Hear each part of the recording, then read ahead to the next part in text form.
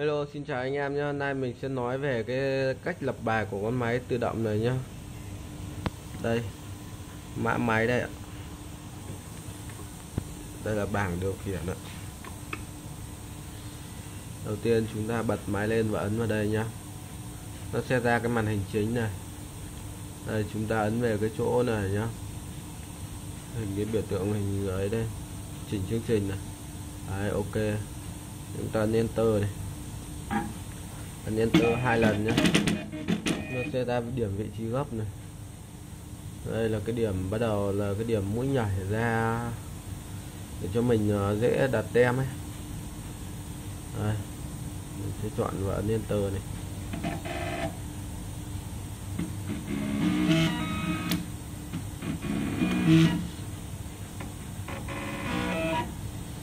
Đấy, ví dụ ra đến đây nhé không mình ấn enter này rồi ok. Chúng ta ấn về bên à, uh, enter đúng không? Đây xong chúng ta ấn enter rồi. Đây chúng ta sẽ ấn về đây nhá. Cái thứ hai này. Cái thứ hai nhá. Chúng ta ấn về enter chỗ biểu tượng ấy. Ấn về bên đây nhá. Cũng lại cái thứ hai này. Rồi chúng ta đưa cái đường này đến cái cái bắt đầu cái mũi mình muốn may ấy bắt đầu kim cắm xuống ấy. Đấy.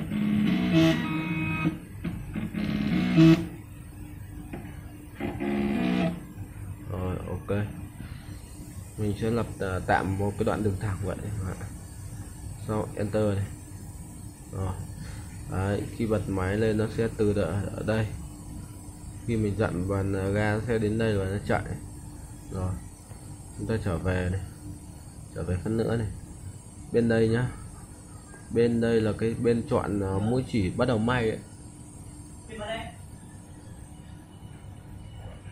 mũi chỉ bắt đầu may này.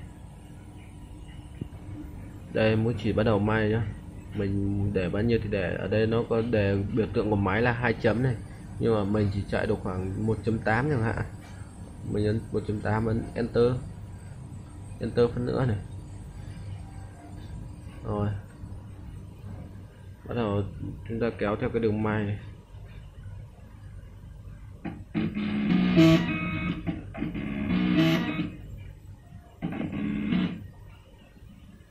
Đấy. Xong chúng ta lại, ví dụ đến đây, may xong chúng ta ấn enter này. Là để nhớ lại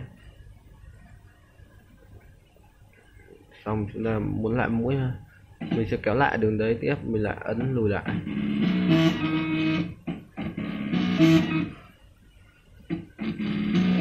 Rồi này chúng ta ấn enter này.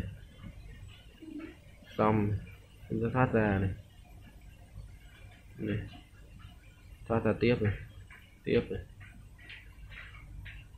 Đây này ví dụ như các bạn cái máy của các bạn muốn ờ, chạy các lệnh các thứ ấy thì đây này ấn vào đây này. Nó sẽ ra thế này này. À, để bạn muốn ờ, bật những cái lệnh gì như kiểu là đang chạy đến này nhấc chân vịt hay là đẩy cái bàn kẹp ra vào gì đấy là ở đấy nhá.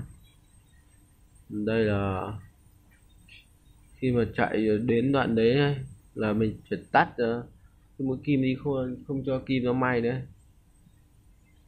Đấy. Xong mình trở ra này.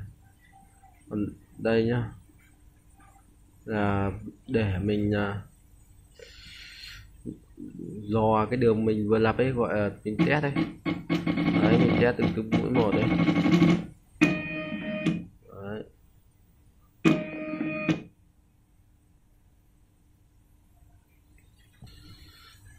còn đây nhá. Đây là để à, ấy này. Các bạn có thể chỉnh này. Đây này.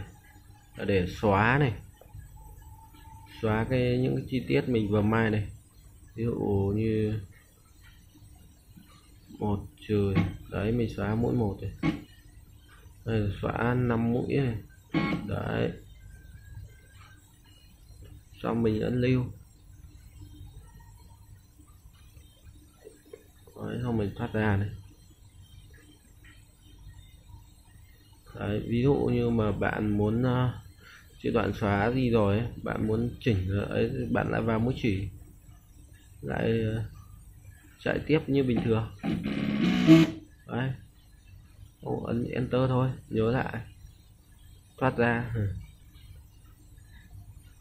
Đây các điểm mà mũi may nhá. Bạn thích may vòng tròn hay là gì đấy? Đây này khi bạn may xong bạn phải ấn vào EDM này là cái khi mà may xong là kết thúc mũi may ấy, là nó sẽ hiện cắt chỉ hay không cắt chỉ hay gì đấy. Đấy kết mũi may bình thường. Ok. Đấy. Bạn phải ấn vào đây trước thì mới ấn được lưu bài này. Đấy xong rồi bạn ấn trên đây này nó sẽ hiện ra như này. Mình sẽ lưu bài về máy được rồi mình sẽ lưu này.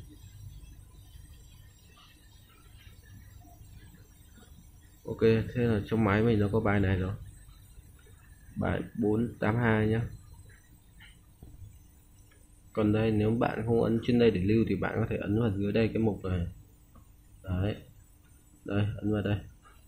Nó sẽ hiện ra chỗ lưu bài, nhưng mà bài mình vừa lưu rồi. Mình sẽ trở ra để chạy thử.